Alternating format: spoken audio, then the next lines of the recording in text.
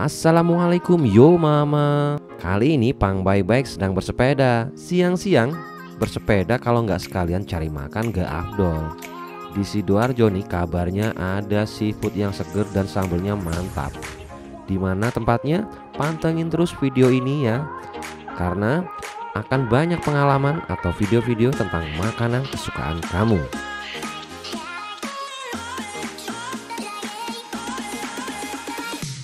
Kali ini Pang Baik-Baik sedang ada di Jalan Malik Ibrahim atau tepatnya di kawasan Karanggayam, Sidoarjo.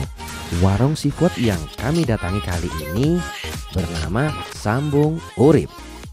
Terletak di Jalan Malik Ibrahim atau Karanggayam, Sidoarjo, Sambung Urip ini satu lokasi loh dengan Black Dog Store. Ya, Black Dog Store. Tentunya kawan-kawan Sidoarjo dan Surabaya pernah dong dengar atau pernah dong belanja di Black Dog Store. Kali ini Pang baik-baik sedang pingin banget nyoba yang namanya kerang hijau asap. Hmm. Kerangnya yang bercampur dengan bumbu rahasia nenek moyang tercinta.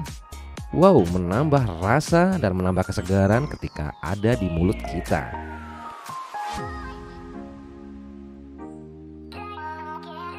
Kerang yang segar dipadu dengan bumbu yang dahsyat membuat rasa kerang hijau ini terasa sangat-sangat nikmat sekali dan patut untuk dicoba oleh kawan-kawan yang bersepeda siang hari atau sedang ingin nongkrong dibanderol dengan harga 40.000 kawan-kawan nih bisa mendapatkan satu porsi nasi dan satu porsi kerang hijau asap.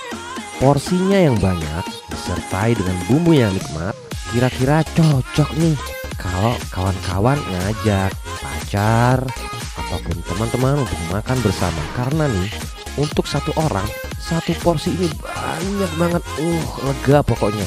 Jadi recommended nih buat kamu yang makannya banyak atau mau bikin mukbang seperti pangpang baik ini. Itu tadi ulasan tentang sambung urip seafood enak di Sidoarjo. Jangan ke mana-mana karena Pang Baik-Baik masih akan bersepeda sampai malam. Untuk mencari makan yang recommended yang bisa kamu coba di Sidoarjo Yo mama, check it out. Yo mama, ketemu lagi. Nih, saya masih lapar nih. Kali ini saya lagi ada di selatan alun-alun Sidoarjo, tepatnya di Menara Air Jalan Gajah Mada. Soto daging Lamongan Cak Agus, berbagai macam lauk tambahan bisa kamu pilih. Ada jerohan, ada limpa, ada juga babat. Hmm, menantang sekali saudara dibanderol dengan harga 34.000 per porsinya kira-kira. Hmm, bisa nih jadi pilihan kamu waktu hujan-hujan.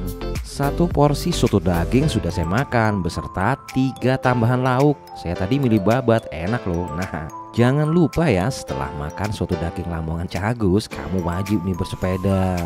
Jangan lupa bersepeda dan olahraga biar badannya tetap sehat dan tetap fit biar besoknya bisa bersepeda lagi. Itu tadi ulasan tentang hari ini, guys. Yo mama, kita akan kembali lagi di episode berikutnya. Assalamualaikum warahmatullahi wabarakatuh.